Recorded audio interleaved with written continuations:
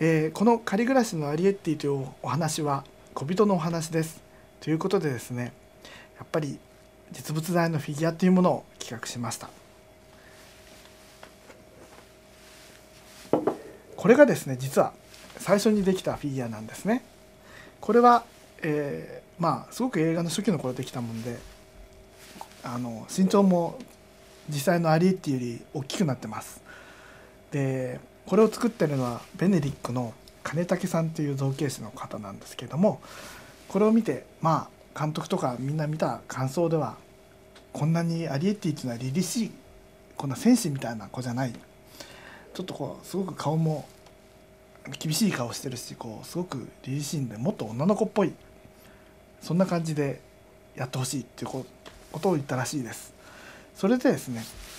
結局出来上がったのがですねちらになります。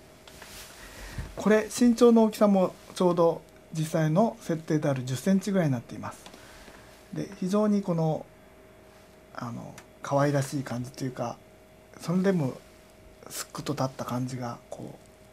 う意志の強さも表してるし非常にこう出来がいいということでまあこれは一応 OK になったものです。この葉っぱのところにですね水滴がついてるんですけどもそういうところにもすごくこだわって作っていますでこの出来上がったフィギュアなんですけどもこれをどう使うかっていうのがまだ実は何も決まってないんですけどもきっとそのうち宣伝の時とかにいろいろ持って回ったりとかですねテレビに出たりとかもするんではないかなと想像されるんですがちょっとこれはどういうふうに使われるかちょっと今のところ決まってないということです。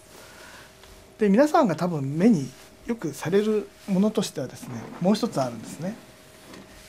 これです。ちょうどポスターの柄と同じあのまあアリエティとこのツタの葉になってるんですけどもこれは多分前売り券を売られる劇場の窓口とかまあ一部そのローソンとかですねそちらにも置かれるっていうふうに聞いています。このアリエッティも非常にあの実際の1 0センチぐらいの大きさでよくできていて、まあ、この葉っぱにも水がついていてこうみずみずしい感じができてるんですけどこれ残念ながらまだ最終稿ではありません。もう一回手直しをされるっていうことなんです。こうしてですねアリエッティの人形っていくつかできてきたんですけどもまあやっぱり皆さん是非こう手に取ってですねあアリエッティってこんなちっちゃいんだとかあこんな子が本当にいたらどうなんだろうねみたいなことを想像して楽しんでみてはいかがでしょうか。